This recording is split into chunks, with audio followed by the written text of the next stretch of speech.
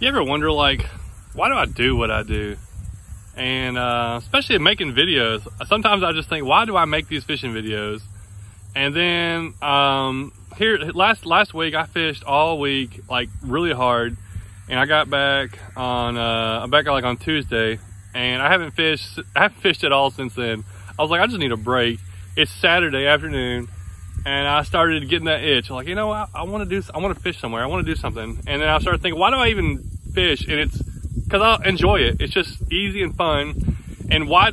Big reason I don't target big fish or try to go after the big fish. I don't like all the, I guess, pressure or just the hassle it goes through. I like going down small streams and just catching fish. That's what it, that's what I enjoy. It's relaxing. It's fun. And sometimes I'm going to go after different stuff. But today I'm going to go back to a place that I I haven't been in a while, but it's just a good little spot. It's fun, relaxing. Hopefully catch a few fish. Got a lot of traffic today, but I walked over here. I hadn't been here in a while. I looked down and I saw several nice bass swimming around. It was crazy, like like good fish. There's a couple, man, look how many fish are down there. There's, look at all those, there's a lot of fish in there. Let's go look on the other side. I saw some decent largemouth in there. I think they were largemouth. But they get spooked off so easy.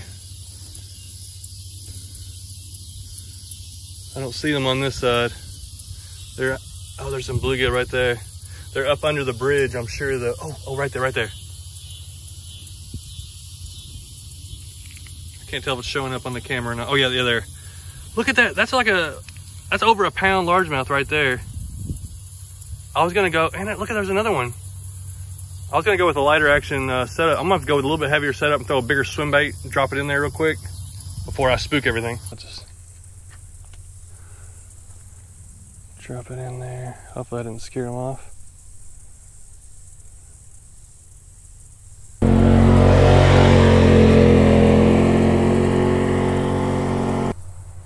Well, let's put this bigger one down and go smaller.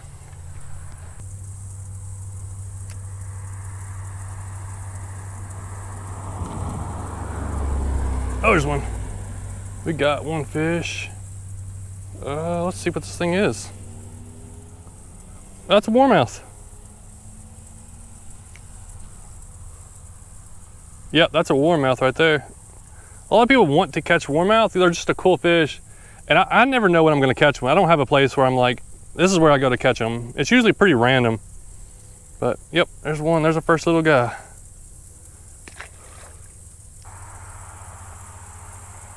Got him. And there's number two, green sunfish. Yep, little green sunfish.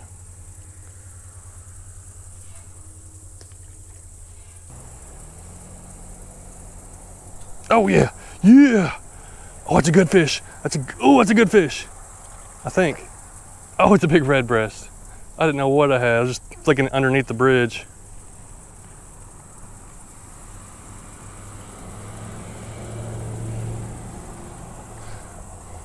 That's a big red breast. Nice guy there.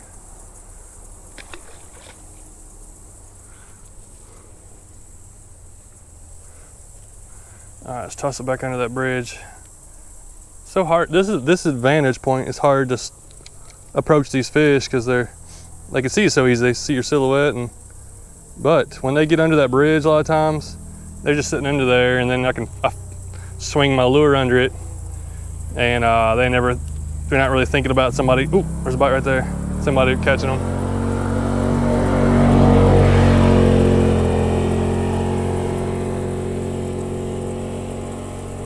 Well, I know one thing. What started out was an easy, relaxing, fun fishing it's quickly turned into a challenge. I fished about 30 minutes there, and now I'm gonna go down to the next bridge because uh, I'm gonna get some fish. And it looks like it's you know, that's just a small creek. They kind of wash out. And I think there's a couple ponds maybe upstream that flow into it. So fish wash through and it's always changing. There's a deep hole downstream and uh, I'm gonna go down there and see what's in it.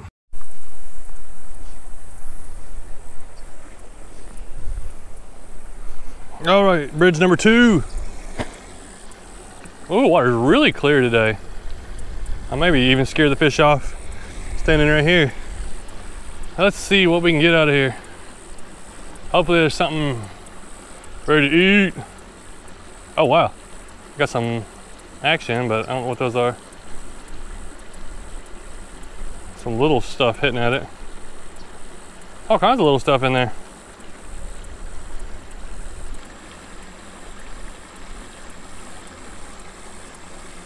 There's one. This guy attacked it. He came off the bank. He's a little bass. There's a bass though. That's cool. He really hit that thing. Little largemouth. All right.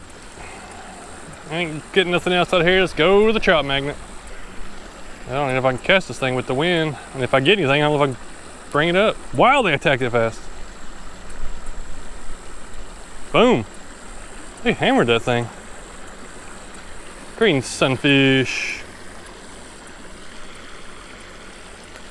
Hold on, little guy. Oh, man, he's back in. Uh, let's try it again. Oh yeah. Look at him go.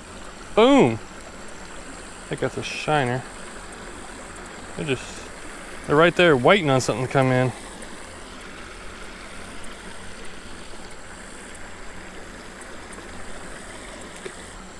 Oh yeah. Oh, what, what is that? What is that?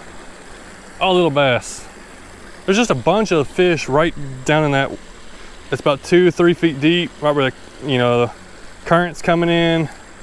And uh, they're just down there looking to eat something, but everything looks really little. Got him. Ooh, what do we got here? Is that another, is that my second warmouth today?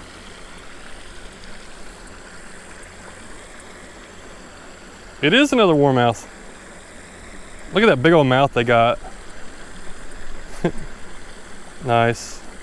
Chunky, chunky little guy there. Oh, wind carried that one. And it carried it right into a fish's mouth. Oh no! Oh yes, it came back. It came back. I don't know how I got that back. It went off a barbed wire fence below me and everything.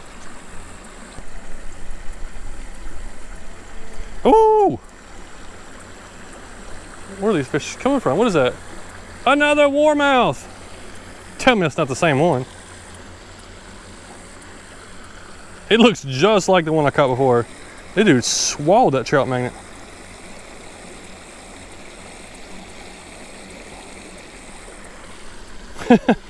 Look how fat that guy is though. Oh, I moved my camera down. There we go. Oh yeah. Man, I think I can stand here all day and do this. Wait, wait, wait. That's another one. I don't know what the deal is with the warmouth, but they are in here thick today. There's this little, little chunky dude there. There he is. Yeah. I think that's another one.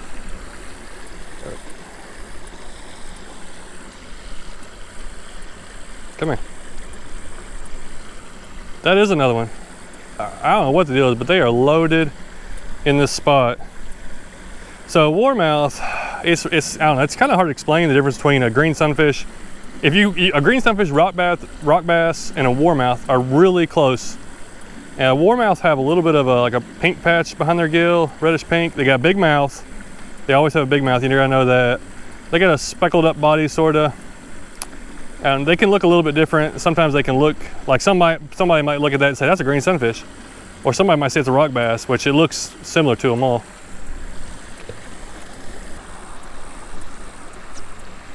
Uh, at least the wind is behind me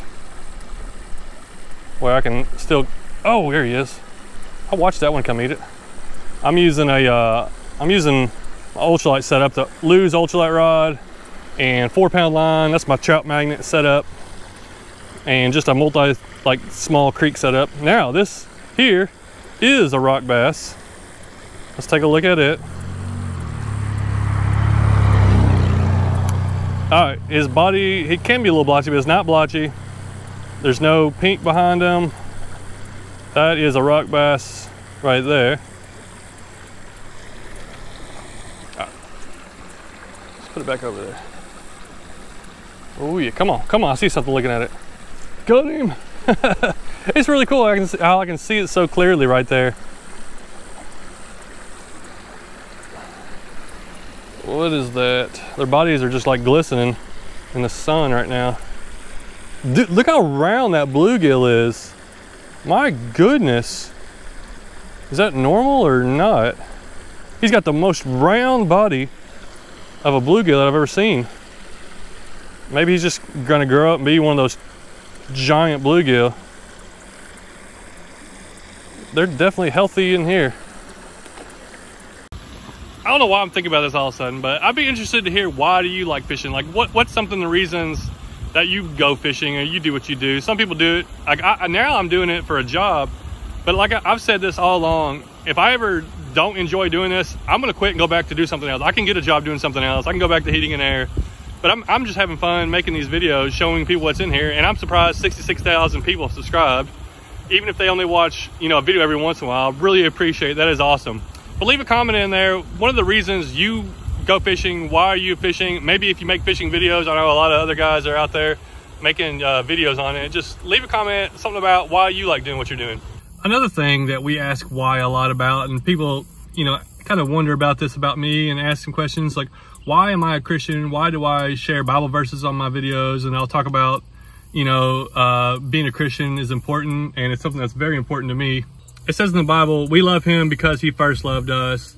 And John 3, 16, for God so loved the world. I guess that's why I probably, I guess that's why I do what I do because I love God and I want to obey his commandments and follow him, not out of fear or like anxiety. It's just because I believe that's the right thing to do and I want to be the right kind of influence and um, use and be the right kind of testimony to others. I know everybody has it, you know, has what they believe, and there's different things, but I believe the Bible is the truth and it's what we should go by. And a lot of things going on in this world, people are trying to figure things out themselves. They're never going to figure it out themselves. God's the only one that can solve those problems.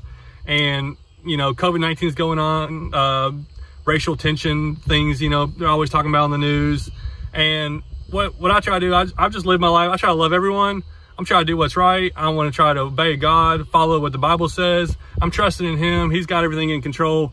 If I get sick, if I die, if something happens, then it's part of God's plan. I'm not going to try to do anything dumb, but it gives us He gives us brains to think.